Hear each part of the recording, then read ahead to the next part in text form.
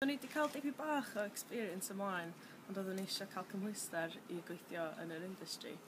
A oeddwn i, oeddwn i'n gwybod, oeddwn i eisiau gweithio rwla yn yr industry creative, ond nes i trio amdan yr apprenticeship.